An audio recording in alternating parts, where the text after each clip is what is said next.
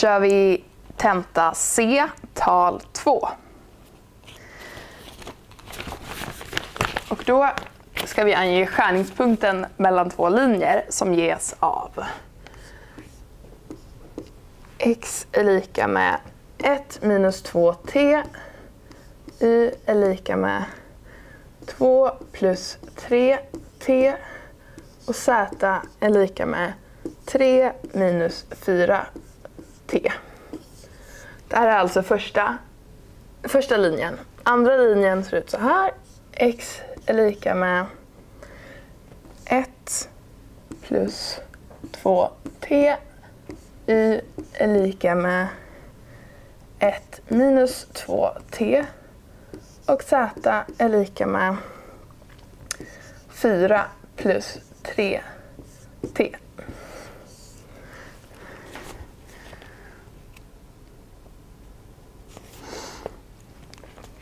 Ja, så det vi ska göra är att först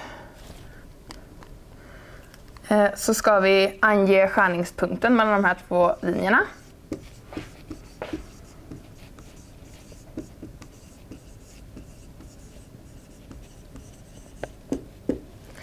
Och sen så ska vi bestämma en ekvation på affin form för det plan som innehåller de här två linjerna. Eh.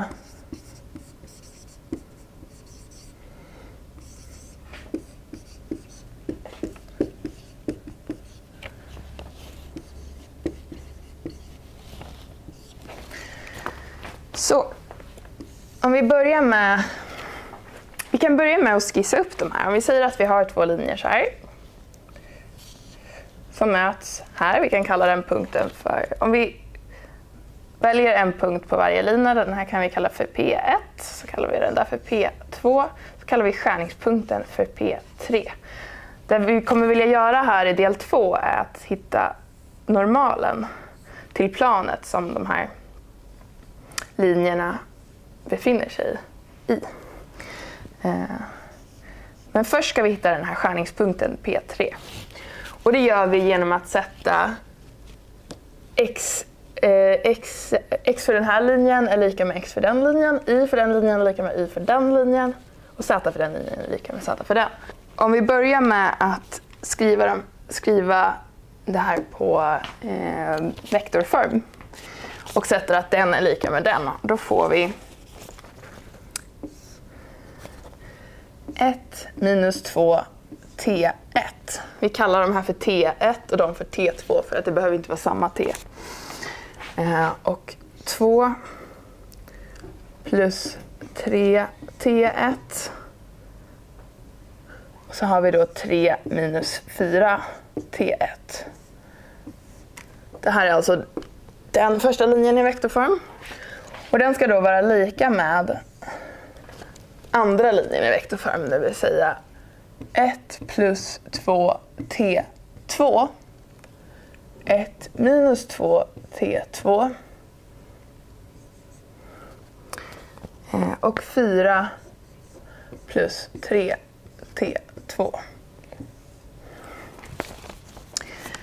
Om vi delar upp det här eh, så på ena sidan har vi eh, konstanterna och på andra sidan har vi de som innehåller de tal som innehåller T1 och T2. Då får vi här 1, 2, 3 så flyttar vi över de här 1, 1, 4 på den sidan så att vi får minus då 1, 1, 4. Så gör vi likadant här, att vi flyttar över de här med t-värden på den sidan. Då har vi de här som redan är här. 2 T2 och så får vi då plus 2 T1. Eh, och sen har vi minus 2 T2 minus 3 T1 och 3 T2 plus 4 T1.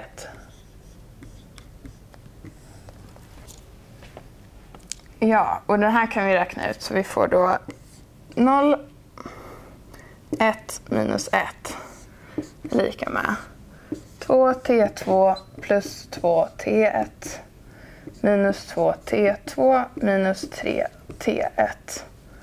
3 T2 plus 4 T1. Eh, det här kan vi göra om till ett ekvationssystem nu eh, på vanlig form. Då får vi att T1 är lika med minus T2. Eftersom vi har en nolla här. Så vi har 2T2 plus 2T1 är lika med 0. Det innebär T1 är lika med minus T2.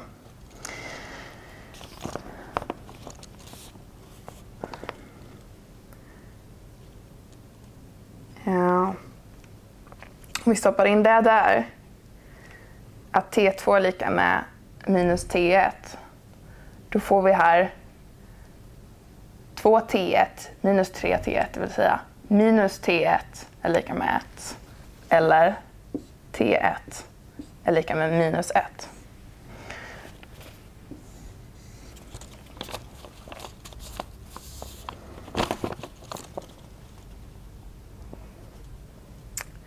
Det innebär alltså att, att eh, uh, uh, T2 då också den blir lika med 1.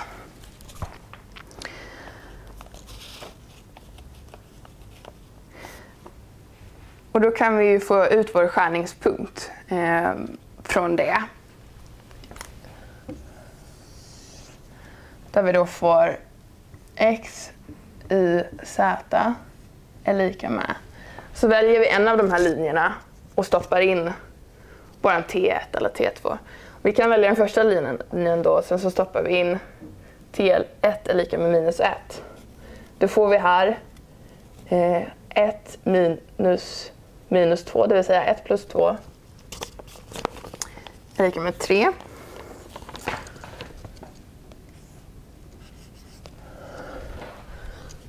Och så stoppar vi in minus 1 här, då får vi 2 minus 3 lika med minus 1. Och sedan 3 plus 4 lika med 7.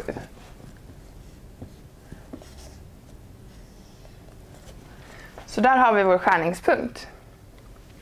3 minus 1, 7. Stryk under den, så. Så då har vi gjort första uppgiften. Nu vill vi bestämma ekvationen för det plan som de här eh, linjerna ligger i. Och för att bestämma ekvationen för planet på affin form så behöver vi veta två vektorer i planet. Och därefter kan vi ta eh, kryssprodukten av de två vektorerna för att få normalvektorn. Eh, vi kan då använda de här, om vi väljer en punkt på varje linje och sen beräknar vi eh, skillnaden mellan dem och den här skärningspunkten. Där har vi två vektorer som vi kan använda. Så om vi kallar den, den första vektorn här för P1, P3 och den här kallar vi för P2, P3 som en vektor. Så ska vi räkna ut dem. Eh, då har vi P1, P3. Vektorn mellan de punkterna är den här koordinaten för skärningspunkten som vi räknade ut nyss. 3 minus 1, 7 minus den här andra punkten, P1. Och den kan vi välja var som helst på linje 1. Eh, men vi, eh, det enklaste är ju då till exempel att välja när t är lika med 0, för då har vi bara 1, 2, 3. Så vi väljer den. 1, 2, 3.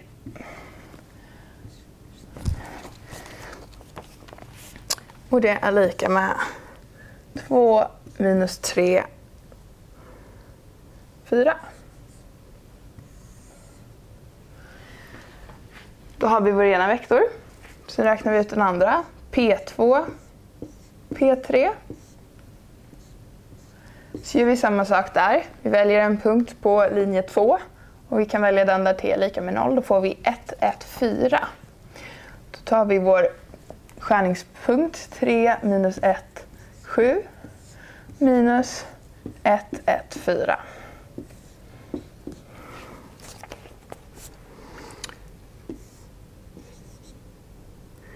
Och då får vi 2 minus 2, 3. Då har vi alltså två vektorer i planet. Vi tar korsprodukten mellan dem.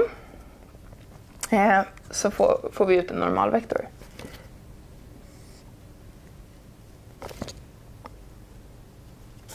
Vi har då att normalvektorn är lika med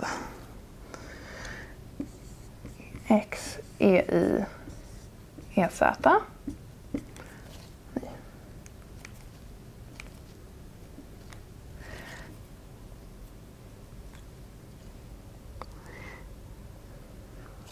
så lägger vi in då de här två vektorerna. Där har vi 2 minus 3, 4 och 2 minus 2, 3.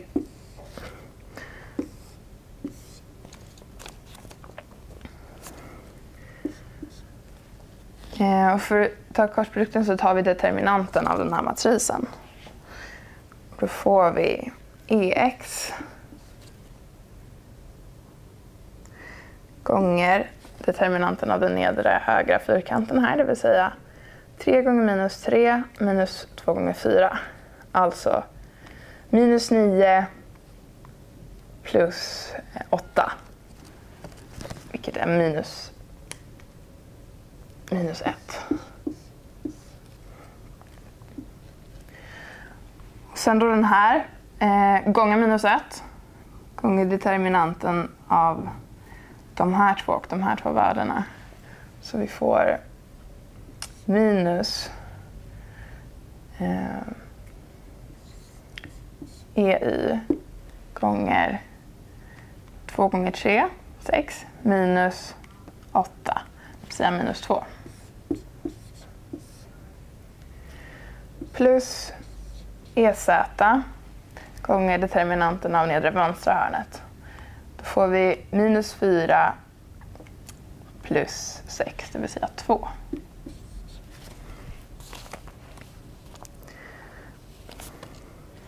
Det här kan vi skriva som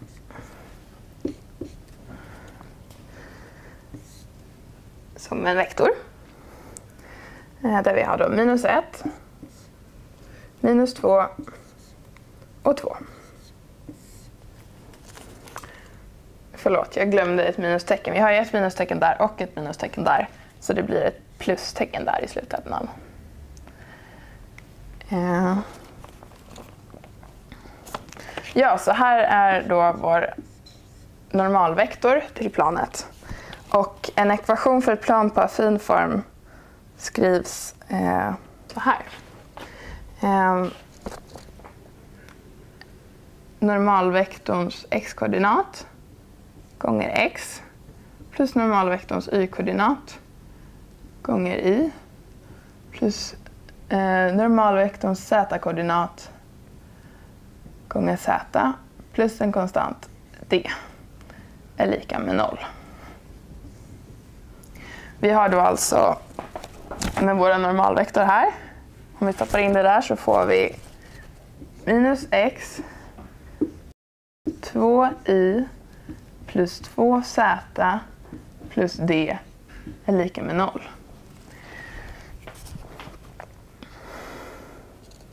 Och det, så det enda vi behöver ta reda på är d.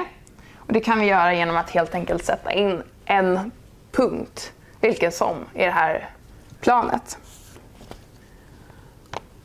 Om vi då till exempel stoppar in den här punkten 1, 2, 3 som ligger på den linjen.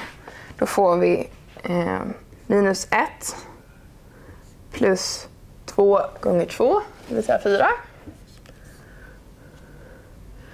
Eh, plus 2 gånger 3, alltså 6. Plus d är lika med 0.